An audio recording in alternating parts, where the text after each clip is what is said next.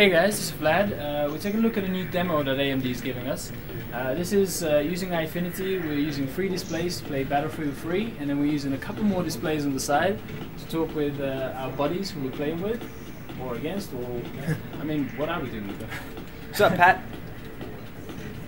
It's up. Hey, um, the interesting thing here with this ooVoo demo is actually that uh, the sound is related to the monitor. So the person speaking to us here from the left, we get the sound from the left, and the person speaking to us from the right, uh, we get directional sound. This is done with the AMD graphics card. Yep. Um, so this is going to be pretty cool, I presume, uh, when you play multiplayer games. We don't know too many people have this much room to have five screens up. Uh, but still, it's a it's a cool little uh, addition that AMD are offering us.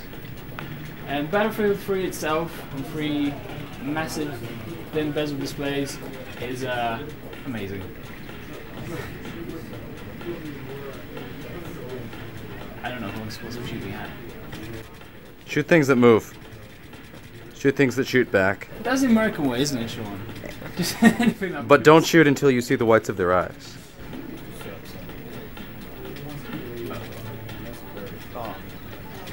No. Okay. Uh, clearly, I'm not off.